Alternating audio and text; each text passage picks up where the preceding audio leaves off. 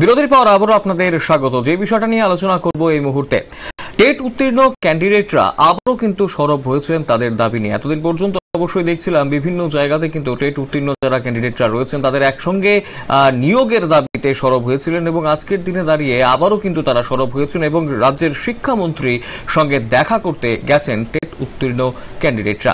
এবং এই বিষয়টাকে কেন্দ্র করে স্বাভাবিকভাবেই টেট উত্তীর্ণ যারা ক্যান্ডিডেটরা রয়েছেন, তারা কিন্তু দীর্ঘদিন ধরেই বিভিন্ন বিষয় তারা নিয়ে সরব হয়েছে এবং আজকের দিনে দাঁড়িয়ে টেট উত্তীর্ণ ক্যান্ডিডেটরা আবারও রাজ্যের শিক্ষামন্ত্রীর সঙ্গে দেখা করতে গেছেন, তাদের দাবি দেওয়া নিয়ে তাদের শিক্ষামন্ত্রীর সঙ্গে কথা বলতে গেছেন তারা।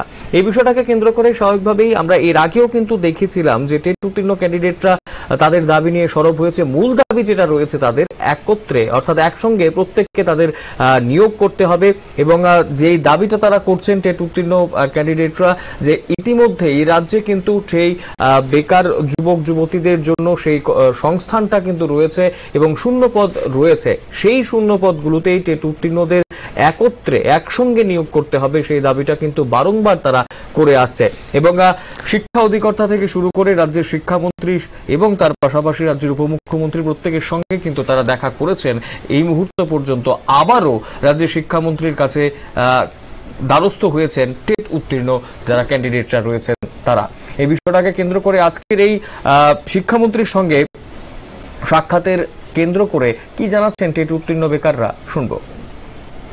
আমরা দুই হাজার একুশ সালে ট্যাফিক চিহ্ন শিক্ষার্থীদের পক্ষ থেকে আজকে রাজ্যের মাননীয় শিক্ষামন্ত্রী মহোদয়ের নিকট সৌজন্যমূলক সাক্ষাৎ করেছি।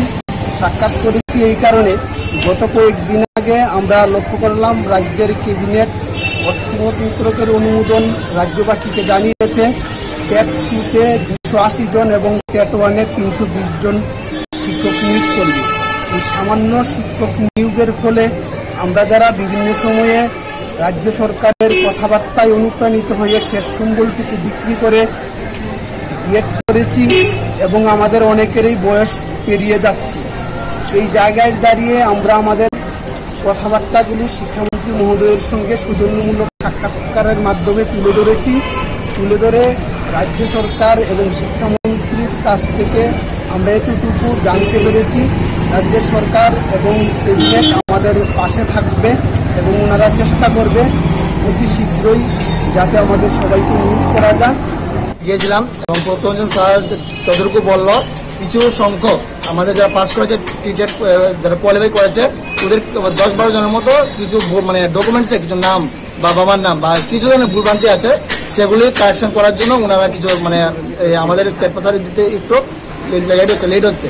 এর জন্য উনি বলছে যে, আগামী মাসে, মে মাসে ফার্স্ট উইকের মধ্যে সবগুলো মানে প্রবলেম সলভ করে আমাদের শংসাপত্র আগামী মাসের ফার্স্ট উইকের মধ্যে ওনারা দিয়ে দেবে। এতটুকু আশা রাখছে।